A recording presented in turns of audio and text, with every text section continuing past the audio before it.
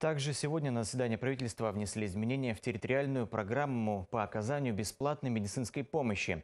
Так, из окружной казны дополнительно выделили более 6 миллиардов рублей.